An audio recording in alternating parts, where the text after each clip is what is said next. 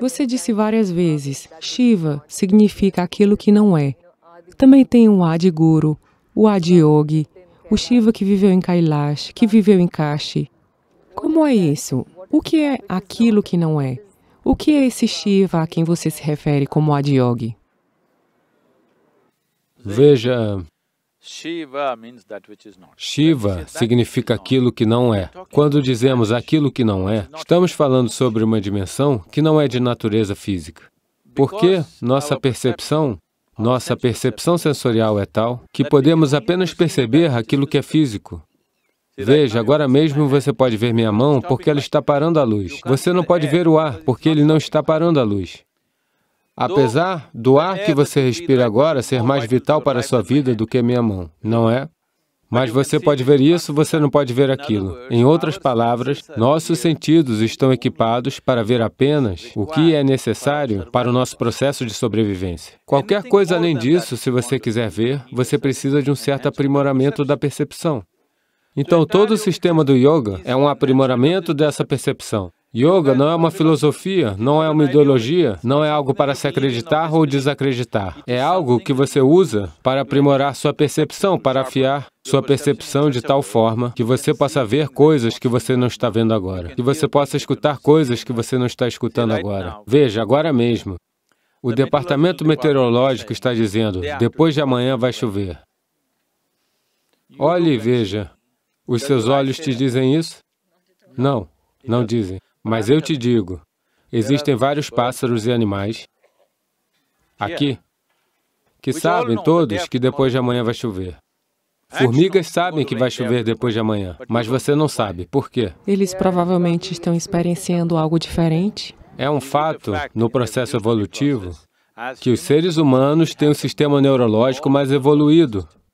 Sim? Mas eles sabem, nós não sabemos, apenas porque a maioria dos seres humanos se sobrecarregaram com muitos pensamentos e muita emoção. Eles não aprenderam esse fundamento de como lidar com seu pensamento e com sua emoção.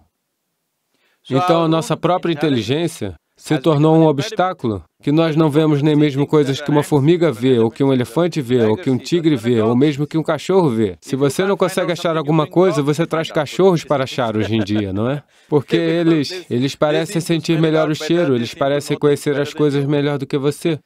Por causa disso, nós criamos instrumentos. Porque nós temos uma inteligência que é de um certo tipo e que ainda é nova para nós, na escala evolutiva ainda é nova para nós. Por causa disso, nós criamos ferramentas, mecanismos, instrumentos. Então, não podemos ver lá em cima o que está lá, então colocamos um telescópio. Agora, o departamento meteorológico não é administrado pelas formigas, ele é administrado por seres humanos. Eles mesmos não podem ver, mas eles fizeram instrumentos que os farão ver. Sim? As formigas podem ser capazes de ver para a sobrevivência delas. Nós não somos capazes de ver porque há muito pensamento e emoção acontecendo.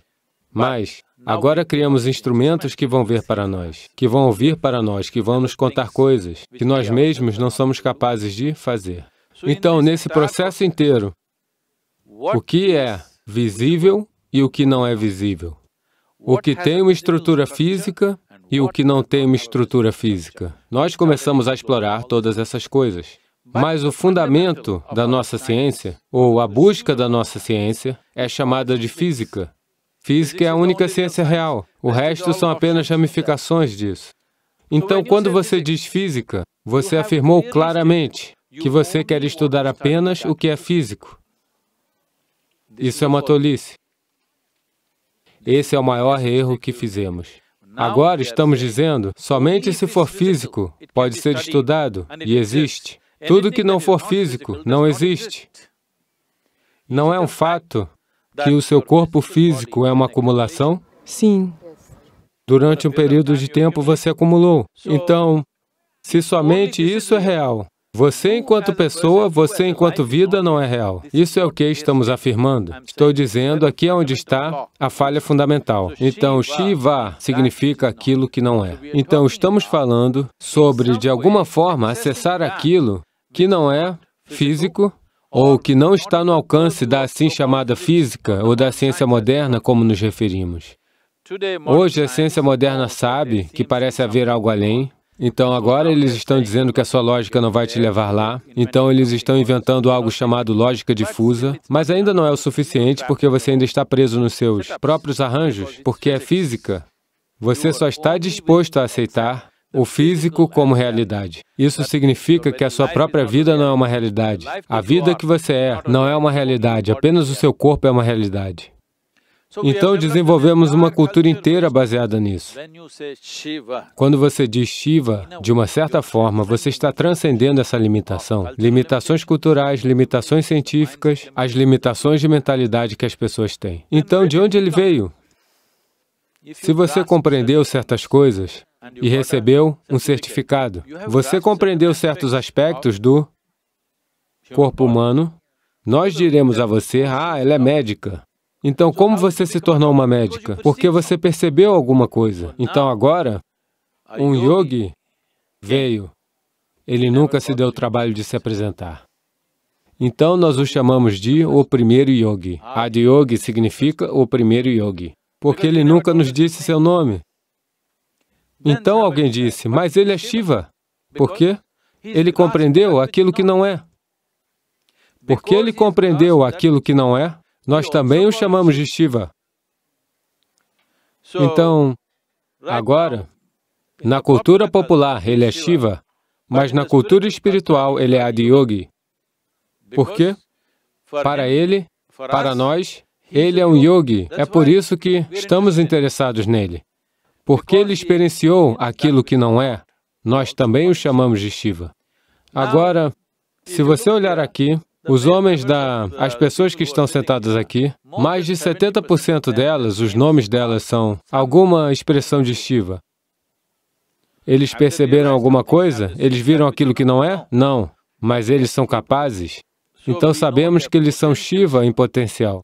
Então nós também os chamamos de Shiva. Podemos até chamar o nosso cachorro de Shiva, ok? Não achamos que isso seja uma ofensa. Porque um cachorro não sabe aquilo que não é, um cachorro não é um yogi, o cachorro também não vai se realizar em sua vida, mas nós sabemos que ele também vem da mesma fonte.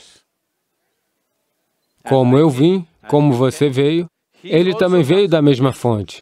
Então, não achamos que seja algo impróprio chamar o nosso cachorro também de yoga. Algumas pessoas estão ficando muito ofendidas porque eu disse isso.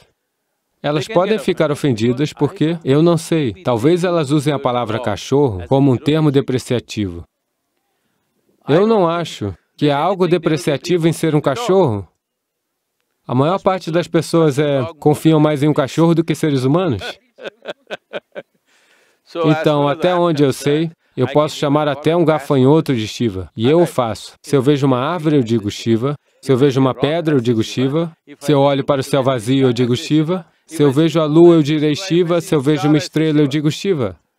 Então, essas pedras vão perceber que elas são Shiva? Não. Elas podem não perceber, mas eu percebi. Essa é uma grande diferença.